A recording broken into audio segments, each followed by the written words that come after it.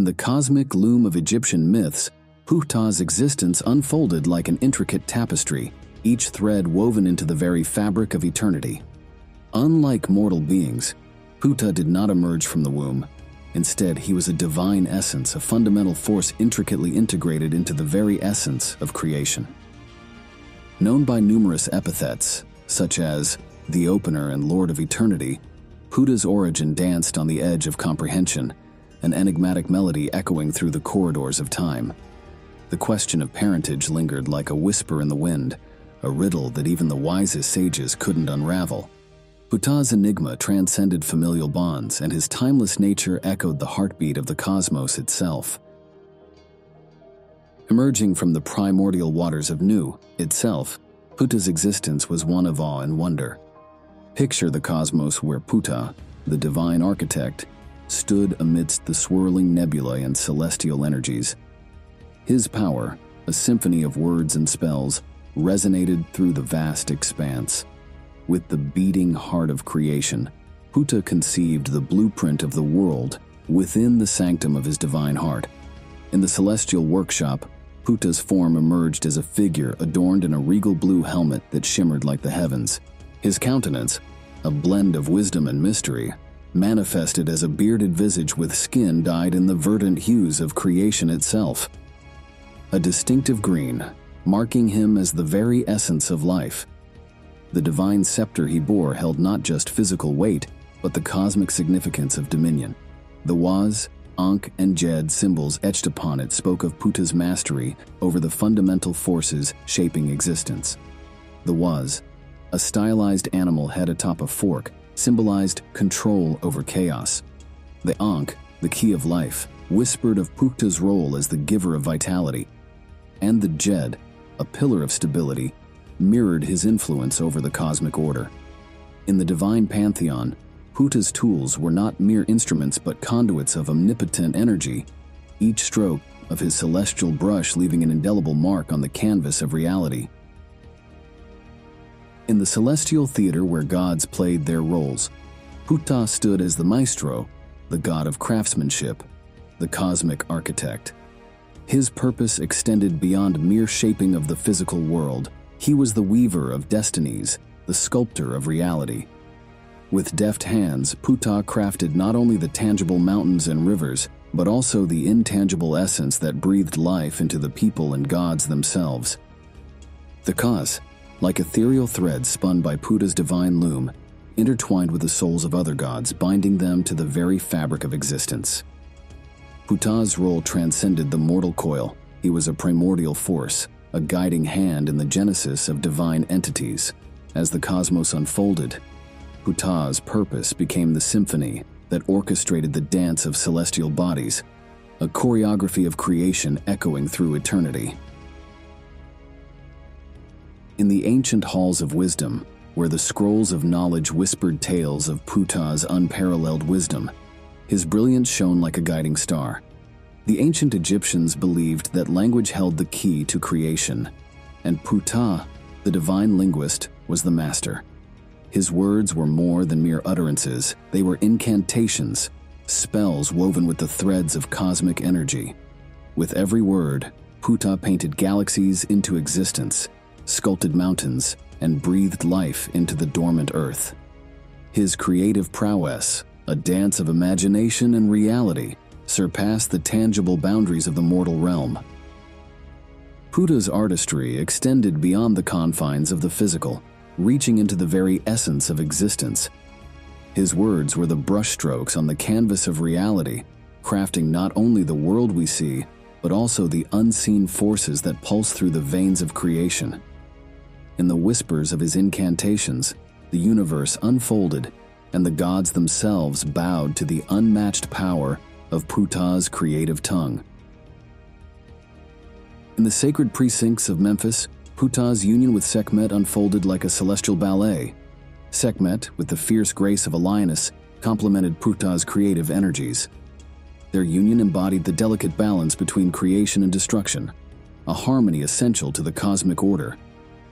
Ptah, the artist, and Sekhmet, the guardian, painted the very essence of existence. Together, they stood as the yin and yang of the divine realm, their energies interweaving in a cosmic dance. Ptah's creative force merged seamlessly with Sekhmet's fierce protection, forming a divine synergy that held the celestial city in an eternal embrace.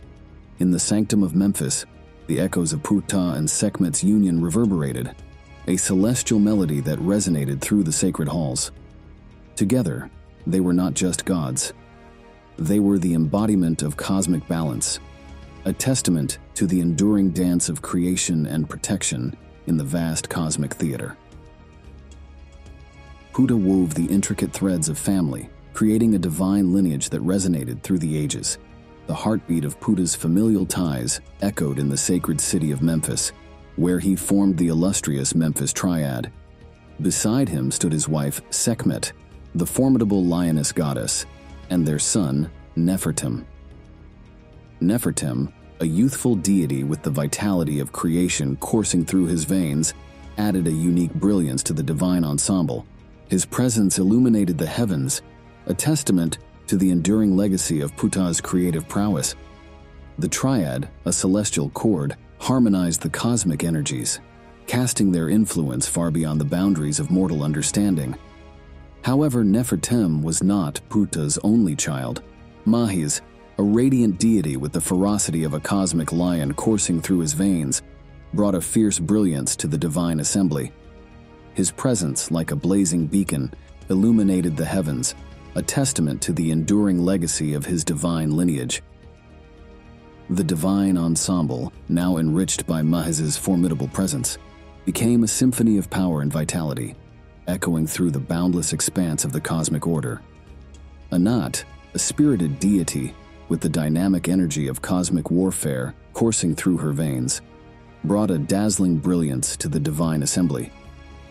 Her presence, a celestial dance of battle and vigor, illuminated the heavens, a testament to the enduring legacy of her divine essence. Within the pantheon, Anat's fervor resonated like a thunderous war cry, harmonizing with the cosmic energies and extending their influence far beyond the confines of mortal comprehension. Ptah's familial connections extended beyond the divine pantheon to the realm of mortals. Imhotep emerged as a favored child of Ptah. Imhotep, a name whispered through the corridors of time, or the mantle of Ptah's progeny, a cultural hero and master architect whose deeds echoed in the annals of history. Imhotep's hands, guided by the divine lineage that flowed through his veins, became the chisel that sculpted the very stones of Egypt. His legacy, etched in the sandstone of the ages, reached its zenith with the creation of the iconic step pyramid, designed and built for the pharaoh, Djoser. As the sun's rays kissed the monumental structure, it stood as a testament to Ptah's enduring influence on the mortal realm. In the realm of men, Imhotep became not just a builder of pyramids, but a bridge between the mortal and divine. His deeds, like a beacon, illuminated the path between the heavens and the earth, a cosmic connection that echoed Ptah's everlasting legacy. In the grand tales of ancient Egypt, three mighty gods, Ptah, Sokar, and Osiris, found their destinies interwoven. Ptah, the master creator, shaped the world with his divine craftsmanship. Sokar, a deity who acted as a guardian in the mysterious realms of the afterlife, and Osiris, who ruled over the mysteries of the afterlife, guiding souls through death's embrace and into the eternal realm beyond. Ptah, as a celestial artist, molded the very fabric of existence. His craft was not just about mountains and rivers, but the essence that gave life to the gods themselves. Sokar was the guardian of the necropolis, a figure draped in the enigmatic shadows between life and death, where souls transitioned. And Osiris held sway over what happened after life's journey the journey through death, judgment, and rebirth. Over time, a fascinating twist unfolded the merging of Ptah with two other deities, Sokar and Osiris, creating a powerful triad known as Ptah, Sokar Osiris. This wasn't just a divine merger, it was a symphony of cosmic forces. Ptah brought his creative genius to the mix. Sokar added a touch of the afterlife's mysteries, and Osiris contributed his role as the judge of souls, and the guardian of resurrection. As Ptah Sokar Osiris, he embodied the very essence of creation, death, and rebirth. They weren't just gods, they were a living representation of the eternal cycle of life. The Ptah Sokar Osiris triad became a focal point of worship in the Memphite region, drawing devotees into rituals that celebrated the interconnected dance of existence. In every ritual and ceremony, the Egyptians honored this triad, recognizing the divine orchestration of life's journey. The Ptah Sokar Osiris triad wasn't just a theological concept, it was a captivating story that spoke to the heart of the Egyptian worldview. Life, death, and rebirth, all intertwined in the cosmic narrative of this divine trio. In ancient Egypt, there was a ritual called the Rite of the Opening of the Mouth.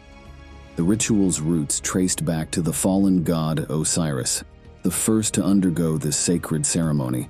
Ptah, the master of creation, took center stage, his hands wielding ritual tools that bore the weight of ancient wisdom. The air hummed with anticipation as the divine artisans prepared to enact the rite of the opening of the mouth. Osiris, the god of the underworld, his form reconstructed by the loving hands of Isis, stood before the essence of Ptah. The ritual tools, each with a symbolic purpose, hovered over Osiris's dormant form.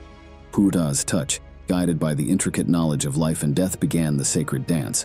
Blades of different shapes, a fork, a serpent, and adze, moved with precision, opening the mouth of Osiris in a symbolic gesture. In this moment, the boundaries between the living and the dead blurred, and the departed god was granted the ability to eat and drink in the afterlife. Ptah, the weaver of existence, had once again crafted a bridge between realms, a testament to the profound connections between the divine and mortal spheres. The rite echoed through the corridors of eternity, a promise that life persisted even beyond the veil of death, a cosmic dance choreographed by the skilled hands of Ptah. In the celestial arsenal of Ptah, his scepter emerged as his personal artifact. It was a fusion of symbols that transcended the mundane and delved into the profound. Ptah stood as the divine architect, holding a scepter adorned with the Ankh, and Djed, a trinity of symbols etched with cosmic significance. The scepter, also known as the Waz, consisted of a stylized animal head atop a fork. In the hands of Ptah, chaos became a harmonious dance, a force to be wielded rather than feared. Ptah, the cosmic conductor, orchestrated the celestial symphony with the power encapsulated in the scepter it symbolized power to the gods and pharaohs, the control over chaos, and the well being of the deceased. The Ankh, the iconic key of life, dangled from the scepter like a cosmic talisman.